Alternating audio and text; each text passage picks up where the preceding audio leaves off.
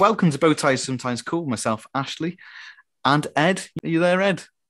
I'm there. It's a bit odd. It's a Tuesday evening, but I'm definitely here. And you're in your attic. Never mind. I'm in my at- I'm in my attic as well. Yeah. they put you up in the attic for this one. Okay. And so this evening, we are joined by a very special guest, singer, songwriter, Oggie. Evening, Oggie. Hello. How are you doing? Very good. No, thank you for joining us. Now, for those that don't know, Oggie um, on most social media will be referred to as Oggie Music, uh, a prolific singer and songwriter um, who's already had two albums, Undeniable Chemistry and Throwback Season, and also has another album coming out on the 25th of this month, 25th November. So thanks for coming and having a chat with us about that and your career to date. So that's what we're going to cover off this evening, if that's okay with your good self. No worries at all. So, Oggie, first things first, a rather predictable question, but when did you realize that music was something that you wanted to do and that was going to be your career path? Do you know, I was very, very lucky that I'm. I realised from an early age, and I'm talking like four or five. You know, um, I, I, we're you know we grew up with the most influential people, and I think obviously at that age for me was Michael Jackson, and the first album that I'd ever fallen in love with was Off the Wall. So you know what I mean? I just you know I wanted to. You just want to be him. do you know what I mean? Yeah. So literally from that age onwards, and then I think you know the Kids from Fame was probably the next huge influence. Like, you know, I mean, it, I just wanted to be in a performing arts school. Then I had to dance and sing after watching that show. So I just feel like, yeah, from an early, early age, I, I always knew that this was what I wanted to do. It's funny you mentioning Fame there.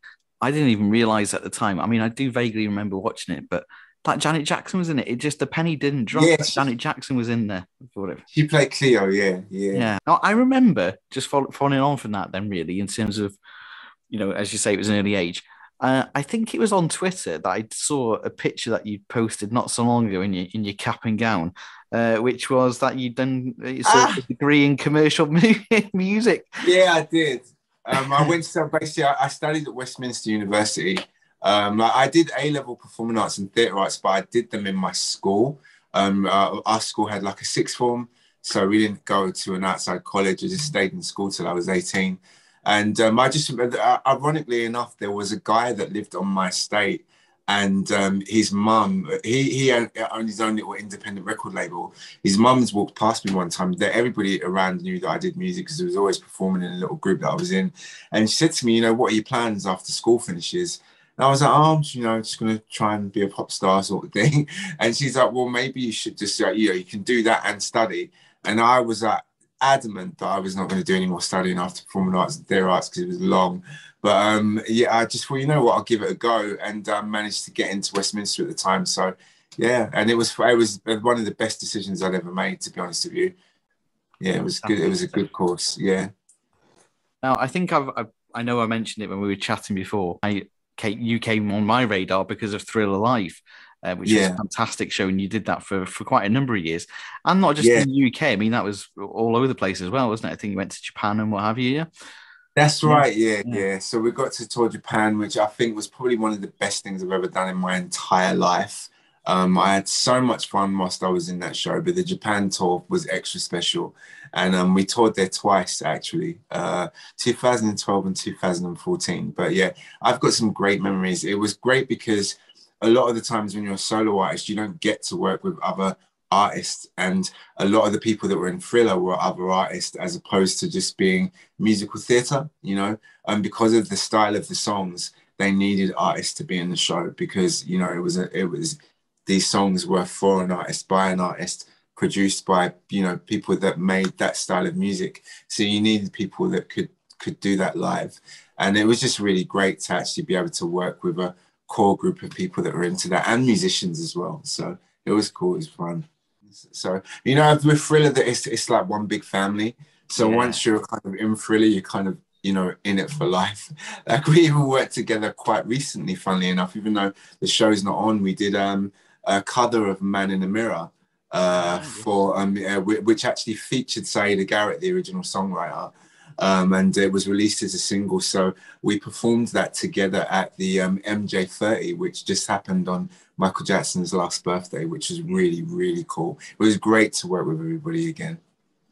I um I had the cameo from uh, Siedah Garrett. I, I ordered it myself. Like, it wasn't really a surprise, Ooh, but um, yeah. yeah. so I, I, did that. But yeah, she's probably written two of not my favorite. Sorry if you're listening, Siedah, but I'm pretty sure, sure you won't be. But not, not my favorite, but um, yeah, Man in the Mirror and uh, Keep the Faith really great tracks. But... Oh yeah, you know, I, am so glad you said that because so many people don't know that she wrote "Keep the Faith," and you know it's it's one of the most beautiful songs on dangerous it's actually one of the songs that i know when i'm feeling down in the dumps i've got like a little spotify playlist of songs yeah. that i have and keep the faith is on there and so many people don't know that she wrote that song and it's uh, another one of those phenomenal songs from mj that no one talks about as much so i'm really glad that you pointed that out Oh no, that is a that is one of my favorites off the Dangerous album. I mean, the lyrics yeah. on it are just amazing. Like they're so beautiful. It's a really heartfelt message in that one.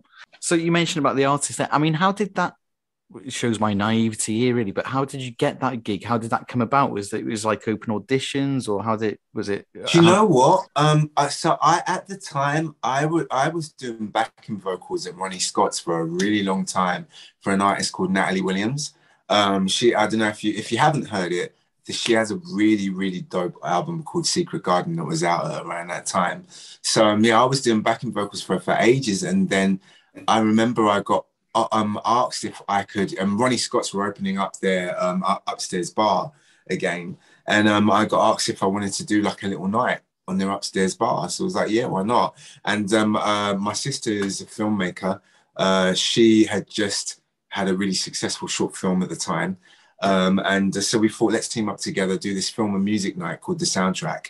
Um, so all of her friends would come and show independent films, and then me and my band and um, would uh, perform after. And then all the singer mates I knew would just come and like freestyle. So I did that for like a year, and I think we moved venues.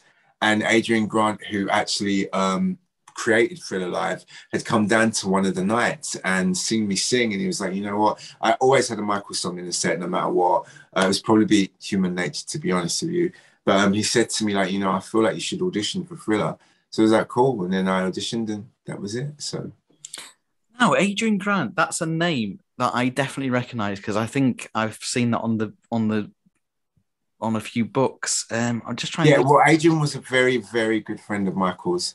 And yeah, um, he's, he, he's, written a few books on him, hasn't he? Yeah. Yeah, that's right. And I believe, uh, correct me if I'm wrong, Adrian, but I do believe that he did used to do one of the fanzines, which is possibly King, King magazine. Ah, and, yeah, yeah, I remember. Yeah, I believe I could be wrong, but I do believe that he used to do that. And he actually, you know, um, they were they were good friends. So Adrian, I remember he interviewed Michael Jackson backstage um, for I think it was on the set of Stranger in Moscow, if I can remember rightly. Um, and you know, so uh, um, he was one of these trusted people that he knew. So, yeah. No, that Thriller Live must have been. I mean, I went there. I, I, went. I saw it in Manchester. The crowd just going crazy, which is one of the great mm. things about it. Because of course, you're all there because you like Michael Jackson. So that's always exactly. a good start. So, but in terms of audience participation, no doubt they were singing every single song. But there was was there any particular? I remember Smooth Criminal was really popular on the evening. Was there anything else at all? Uh, I mean, have you got any ones that stood out as getting always pretty good crowd reactions? Yes, there was this section that we used to call the disco section, which was kind of like um, loosely based on Studio 54. Um, and um, it, it, was always, I think it's almost all of our favorite section of the show because we got to impro a little bit. For the dancers, they got to impro a little bit. Um, and uh, we sung just like it was the songs from uh, Off the Wall. So we had a don't Stop Till You Get Enough, which is my favorite, favorite number to perform. Um, Rock With You was part of that section as well.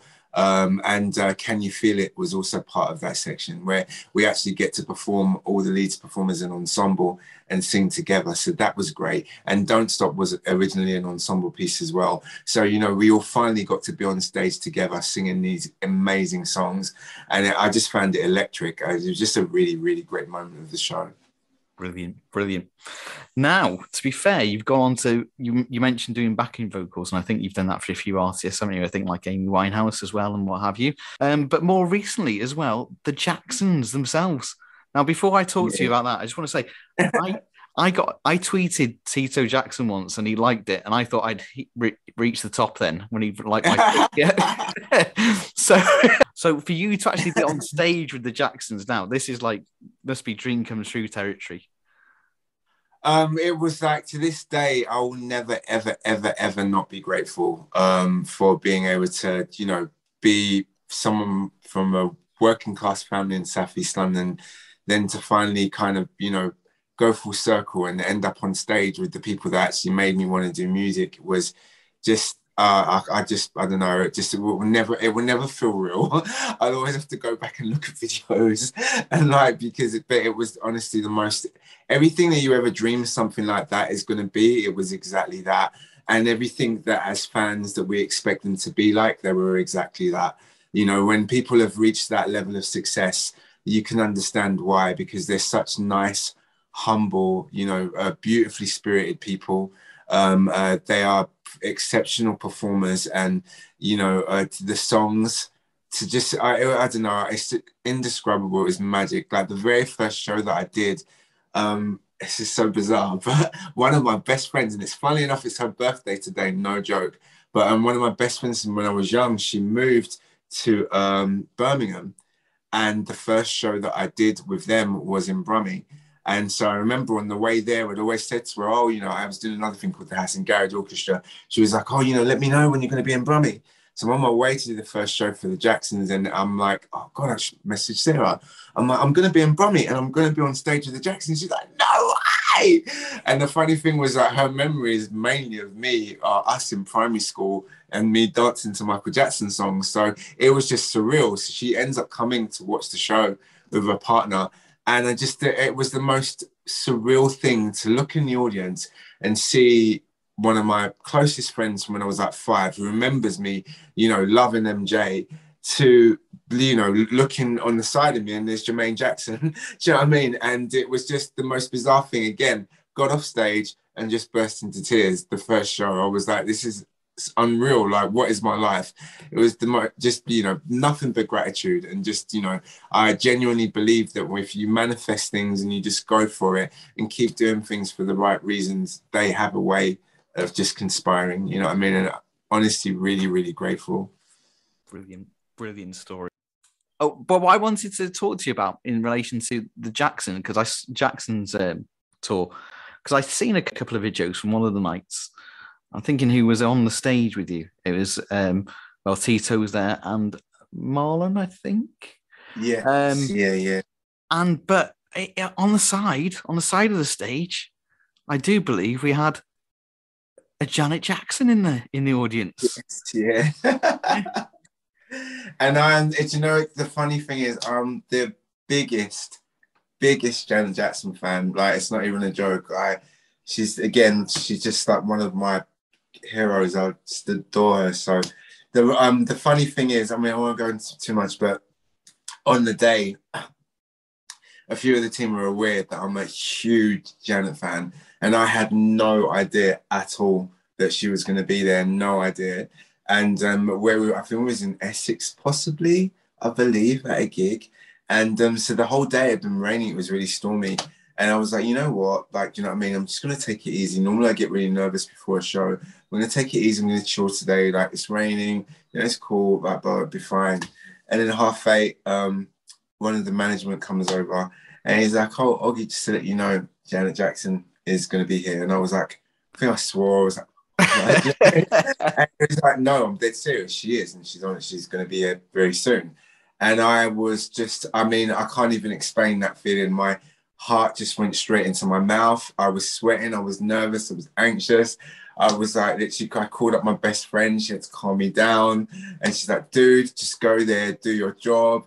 Called up another friend. And then I felt like, right, I have to be professional. So I went onto the stage, like literally before a, a good maybe 15, 20 minutes before we were starting. And some of the band was setting up anyway. And I just, I just want to get a feel of the stage so I can remember what I'm doing because yeah. my head is not it's not in tune with my body and um, so trying to get back into the vibe and i swear to you i'm not joking i felt her presence come onto that stage, man. I'm not even joking. I felt it. And I was like, oh my God. And as I felt it, she kind of walks past and she sits down. And I didn't know what to do because she was on my side of the stage. So I think there's a little video online of literally just me, just like literally going, oh my God, oh my God. And I turn around in a circle and I'm just like, hi. Yeah. and she waves back. And I just remember just like, I just couldn't believe it. And I had no idea, why. One of my really cool friends was um, part of part of the tour as well, was filming everything. So um yeah, for the rest of it, I was like, right, get on with it, do the show, perform, be professional. I didn't want to keep staring at her throughout the concert, like you know what I mean, and whatever. But I got a chance to meet her for like two seconds afterwards, and it was a dream come true. Uh, listen, I, have watched those videos. Great performance by your good self, but I was just also really impressed that Janet Jackson in the wings there she was, you could see her on some of it, the way it just, luckily, it just seemed to focus right. And she was singing the words to pretty much everything, just going along with everything, you know, and she just, every no, she was, song. Yeah, absolutely loved it. Did, did the audience even know that she was there though? I, Was it actually? I believe some of them did. I believe some of them did. Yeah, yeah. Some twigs, I, yeah. When she came on there, I do remember people screaming. Like, do you know what I mean? They just, you know, it's just, I'd, even from a distance, they could just tell she has this whole aura about her. Um, uh, just a beautiful being, and I, I, could feel that there were people that were screaming when she came down. So yeah, I think some people knew. Well, I feel that we've probably talked about the Jacksons enough. I mean, it, not that that's really possible, but to be fair, you, know, that, you that, could go on forever though. Because yeah, you could. You could. They are like the greatest performance family ever, ever, you know, in history. So it's you know, it's, if you're going to talk about music, do you know what I mean? They're going to come up for sure. So absolutely. Well, maybe we could have future episodes on this. We'll pull you back, but I want to because we're very grateful for you giving us your, uh, your time. I wanted to come on your onto your back onto your work and your projects and everything that you've got yeah, on the go. So we've listened to your music. I mean, it's wonderful, and we've been able to listen to a track as well. "Sweet Medicine," um, which is yeah. going to be in the upcoming album. Um, but I just wanted to hand over to Ed because I think Ed's got a couple of questions about um, what you do and how you go about doing it, really. So, okay, Oggie, so you've got the new yeah. album coming out later on this month.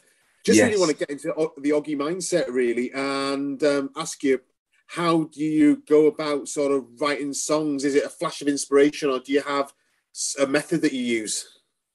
Um, definitely, it's a combination of both. Like, um, I, for this particular album, inspiration was really um, kind of like vital. Um, the last, especially over the last couple of years during the pandemic, um, I, I, you know, I used to love songwriting a lot when I was growing up. I had a really great um, uh, music teacher called Julie Copeland, and she taught us to write songs from like 11. So I used to, I used to love it, and I was constantly writing. But then when you're obviously doing loads of different stuff, I would only write when needed be, if that makes sense. So um, during the pandemic, I kind of like I felt very inspired again, just because I had people around me that made me feel like that, that kind of helped me get through it all, really. And so started to just write for the love again, and um, just felt very inspired by things that were going on around me. And um, so yeah, that is definitely key. Um, normally, in terms of like, it can be anything. Sometimes I'll just stream up melodies. Do you know what I mean? When I'm walking down the street, um, you know, I'll watch a movie. Um, it will be conversa- conversation was a big deal this time around that would inspire things. And then other times, you know, people would just send me beats. You know what I mean? Like they'll send me like house beats, mostly R and B beats, garage beats, whatever. And um, I'll just kind of write to them. Sometimes on the spot in the studio, sometimes at home. Excuse me. So it'll just be all different ways, really. Excellent. And you've been in the um, in the music industry for years now. You with Thriller Live and before that as well. Yeah. Um, obviously, as a consumer, looking at how we experience music, it's changed almost beyond recognition in the last ten years or so with the advent of Spotify, Apple Music, Amazon mm. Music. So we've gone from sort of going to the record shop, shop buying CDs, LPs, whatever, to consuming it via our devices and streaming. I'm just wondering, as an artist, do you think that's made it more difficult for new artists to break into the industry? Um, I do feel it has made it a bit difficult. Um, it's uh, with everything, there's pros and cons. I feel like before, uh, it was harder in a way before. Obviously, with big, massive labels, there was such a huge, massive gap between us and them. but then it was easier because everything in some ways was all um, we were all we were all watching the same thing. Do you kind of get what I mean? There was less to have to look for. So back then, you know, you had your top of the pops or your CD UK or a chart show, and you'd watch all of those um, shows and you'd know who was out or where you'd get to see the music video, this and that. Now everything is extremely fragmented, so you're not even really sure where to look to find stuff. Um, it's easier um, to get things out yourself, which is a massive plus. You don't have to rely on labels anymore. You can put your own music out. You can make your own videos. You don't need a big 10 grand budget to, to make a music video anymore. But at the same time, it's extremely fragmented. So it's difficult to find new stuff. Like, you know, so um, yeah, it's, it, there's always going to be pros and cons, I think. Okay. Thank you very much indeed. Cheers. No worries. you just mentioned about your videos there. This, I, I was looking at that. I mean, there's bring, bring the love back. Yes. Alone, yeah. alone at Christmas and uh, just a little, just a little love. Just a little love. Yeah, I mean, I really like those videos. I really do like those. I mean, oh, awesome! Thank you. I mean, when I say that, that almost sounds like I don't like the other ones. No, I really do. But you know, those in those in particular, and then of course cool. your tracks like "Follow Me" and, and and "You" and "Undeniable Chemistry." I really love those. But those, I mean, the videos, the films, the the music videos are really top notch as well. Um, I mean, are they costly things to produce? Or well, again, I, have I've just been very very lucky. Like I've got family in the business that um, and so they kind of helped out with a few things. A lot of the times with me, like you know, um, me, it's weird. Me, my brothers and sisters and I, and mainly me and my sister, we grew up on watching so many different types of films and little B movies and things. So sometimes we were just when we first started, she first started helping me out with a few videos. We would just shoot things for fun. You know what I mean? Like there was a couple of that were literally just, you know, me and my friends in the park or just chilling with just us with a camera and just edit them and put them together. And uh, we like the fact they looked a bit like B movies. You know what I mean? Um, and then, um, then you know, my brother um, uh, uh, got into directing as well, and he acts, and so he shot the video for Just a Little Love. Do you know what I mean? And again, we would kind of go the guerrilla style stuff, and we'd almost think of the plots on the spot. So they were really fun videos to make and a friend of mine called Shay, um, Shay Carroll, um, actually did the video for Bring the Love Back. And um, but we kind of we, we thought about that, and Shay really wanted to make a music video. Um, we were we were shooting a few things uh, before at the time anyway. I think we'd got I was managing an artist for a little while called Elizabeth um, and we shot a really cool video for her. So we came up with the concept for Bring the Love Back, and um, we yeah we just kind of uh, different little spots in London, and it is actually a really, really cool little clip. So it was quite lucky. I love the. Uh, I think it's just little love. Is it the one when you're in when you're in the cafe and you've got the yes, the, the match? My, well, my brother, yeah, my brother directed that. My younger brother Nelson directed that video. Oh my god, the first twenty seconds of that is just amazing. I reason I say that is because it's it's reversed, isn't it, with the match? Yeah, that's right. Yeah, so yeah. and that was uh, all his idea. I don't know what I can't remember why we came up with that, but the match became like a central point of that video. Um, so and I, yeah, so really cool little clip actually. I'm really glad you guys got to see that. So yeah, love it, love it, love it. So um, yeah, this brings us very much on to but we've talked about how you go about writing a song. One other thing question I've got for you: whenever we see anybody in a studio, even Michael Jackson previously, they're there and they've got mixes in front of them, and there's like thousands and thousands of buttons. Did that? Do, do you use thousands of them? Come on now. um, I'm sure there must be only about three or four that you use. Surely.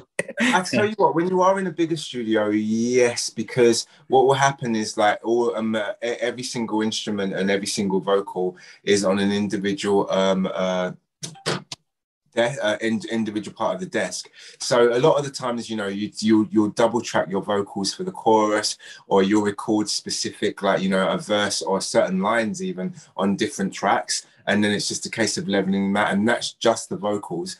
Um, then you'll um, have, you know, all the different things for the instruments. So um, yeah, you you do end up using a lot of them when you're in a much bigger studio.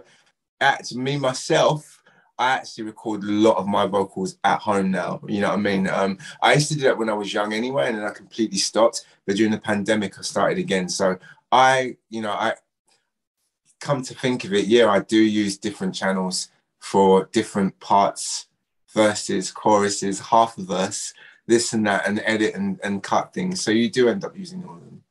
I mean, you, I jokes. I mean, I, I kind of said that in a sort of a jokey manner because I have seen where some people have done videos on YouTube where they've broken down tracks, and you'll sort of see the software that you're using, and it be you know what you think is a fairly simple song is broken down on the screen into like thirty or forty different streams, if you like, yeah. Um, and so they can yeah, isolate yeah, certain yeah. vocals out and instruments and so on yeah, it's just wanting to get things perfect. Like I found when I if when I used to go to the studio to record, like everything would always be on a time and on a budget.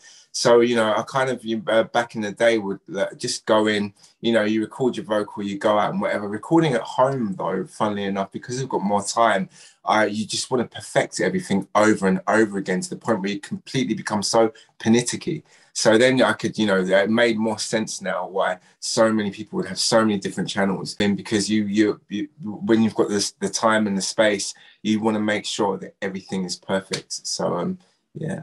Talking about getting things perfect, you have your new album coming out on the 25th of this month, 25th November. Yes. So how long is it time taking you to sort of pull that together? And uh, tell us a little bit about it. No worries. Um, so this is literally an exclusive, like uh, that it, you guys know that it's coming out on this date, and which is really really cool. And um, I'm going to tell you guys what the album's called as well, um, uh, the album is called Wings, and so that's the first. No one knows. I've almost got a little bit nervous now, um, but uh, yeah, I'm really really really really excited about this project. Um, I feel like it's probably the most mature um, project that I've done. Um, it's probably the most um, personal projects that I've done. Um, and I think it's the most um, consistent.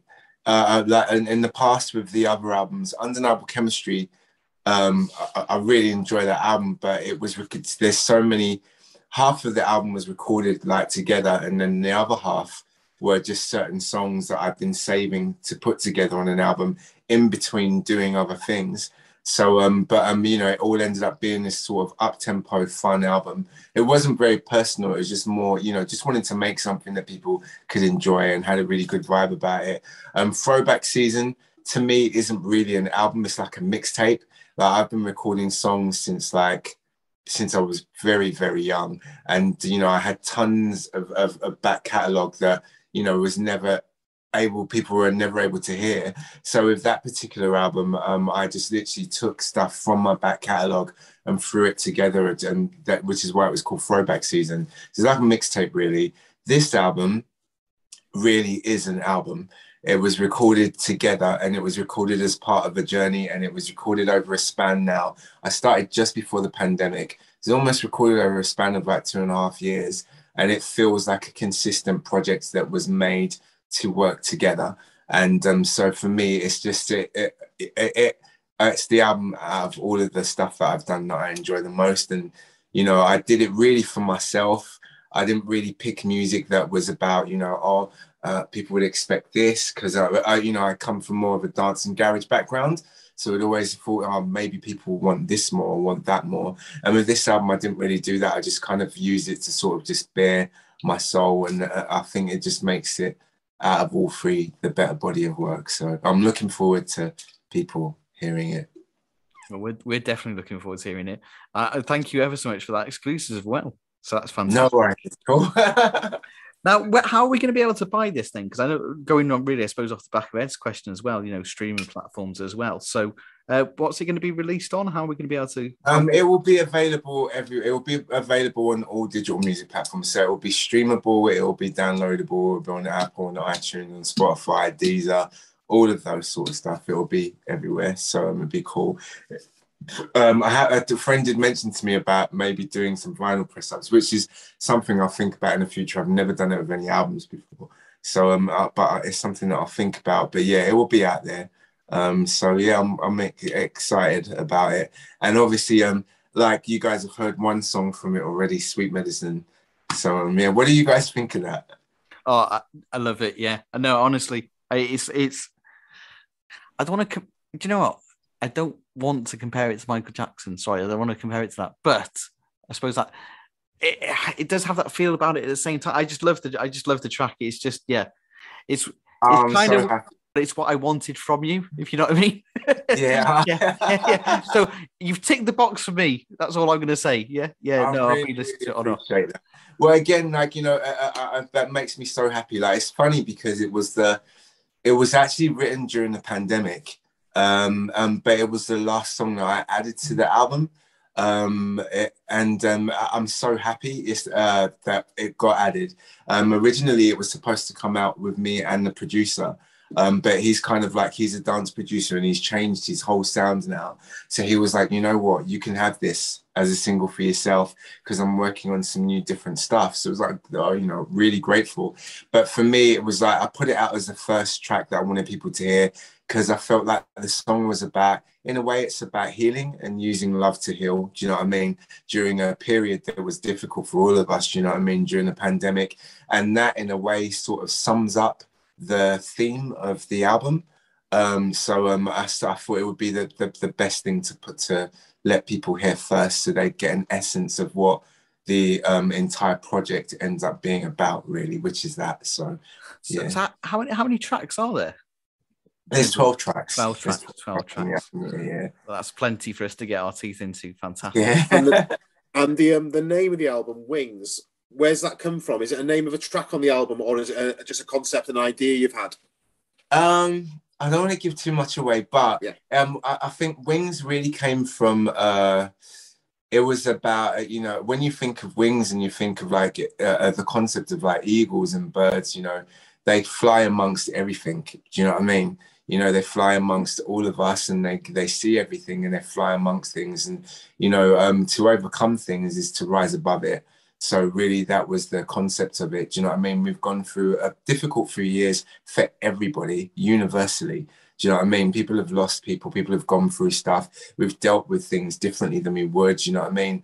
And um, so I felt like Wings was uh, it was a very strong title, and uh, it sort of describes overcoming and and rising above.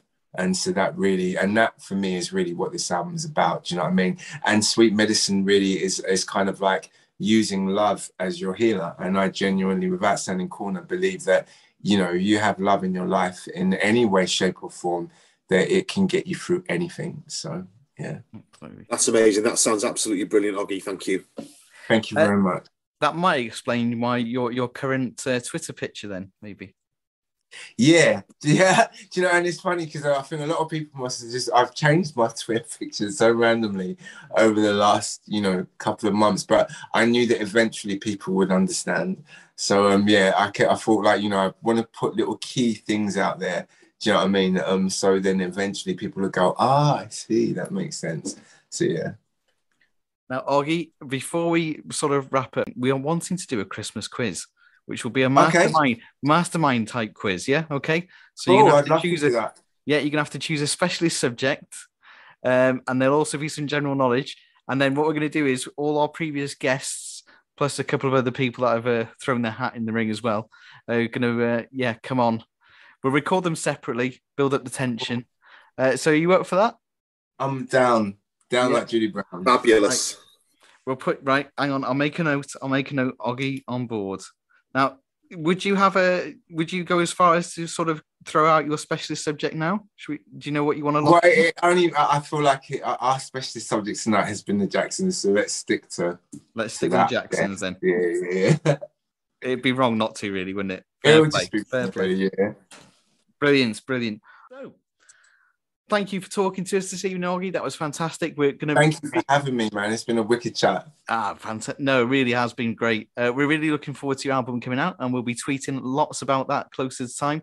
And um, yeah, this will be released probably the week before, which is yeah, Yeah, exciting yeah, times. Yeah. yeah, it will be. Yeah, It'll be a 80 week, a, week, yeah. a week, and a week and a day before. So uh, really looking forward to it. Really looking forward to it. So we have been bow ties sometimes cool. Goodbye from me. Goodbye from Ed. Goodbye, Ash. Goodbye, from Oggie.